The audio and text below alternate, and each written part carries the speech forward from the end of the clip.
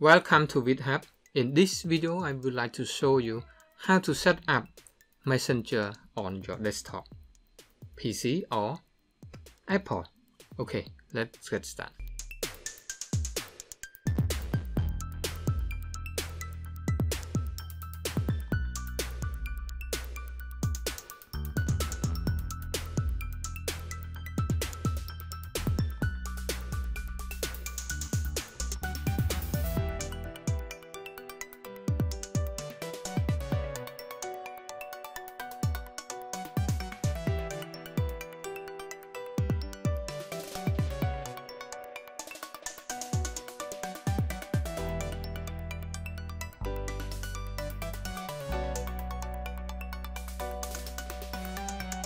As you can see in the short clip of Messenger for desktop of Facebook. So this is brand new service that Facebook just introduced on 2nd April 2020.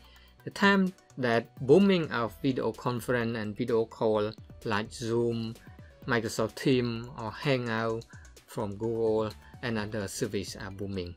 And the time that we stay home with me and everybody at home and then we need online video call. So this is a great time that Microsoft that Facebook introduced this service. So I put the link in the description so you can download the messenger for desktop on PC or Apple on Mac okay? So the biggest feature in here is a big video call a large screen you can have and easy connect multitasking. You can video call and send file or can send message and at the same time on computer or PC or smartphone. And notification and chat across multiple device. Multiple devices for mobile and desktop. And everything seen together and light big screen with dark mode as you can see earlier with dark mode. So you can download whether you are on PC or you are on Macintosh.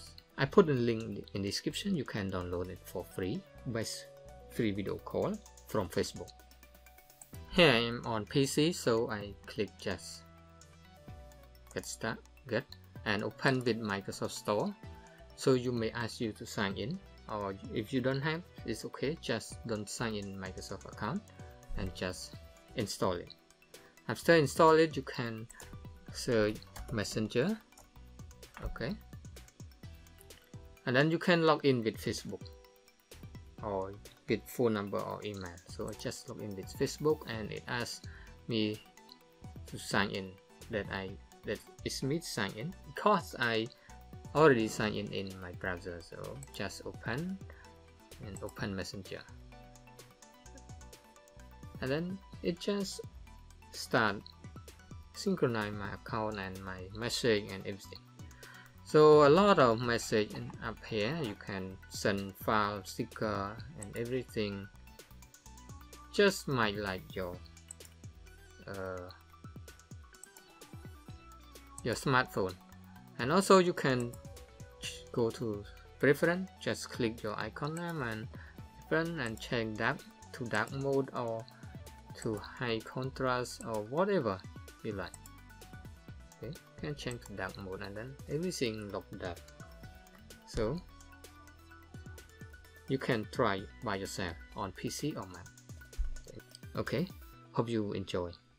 Stay tuned for new update video. Okay bye bye don't forget to like and share. If you have comment please comment. Thank you